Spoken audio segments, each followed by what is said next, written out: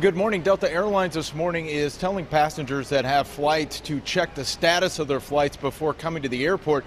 But honestly, I don't know what good that's really going to do you. Right now on the boards, it's only showing one flight that's delayed. The rest of them all say they are on time despite this massive computer outage that has grounded all flights out here at O'Hare, really worldwide. Passengers also that are going up to the gate are not being told exactly what's going on. Instead, they're being told just to go to the gate.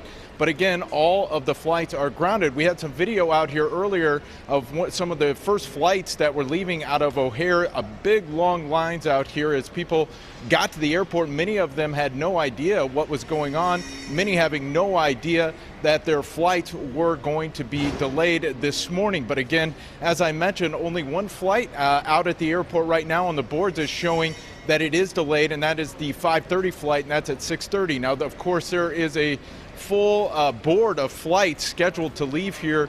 Uh, Delta telling us that they are doing everything, everything they can to fix the problems that has caused the grounding of these flights, but it's really left a lot of passengers upset and confused. If you go online, it doesn't look like any of them are flying. So they're like some stations are out and some are on. That's what we were told. That's what she told me. And are you supposed to get on your flight? Yes, but they don't know because they are only they're just checking people in. You can tell they don't know. I asked if this has ever happened before, and they said no.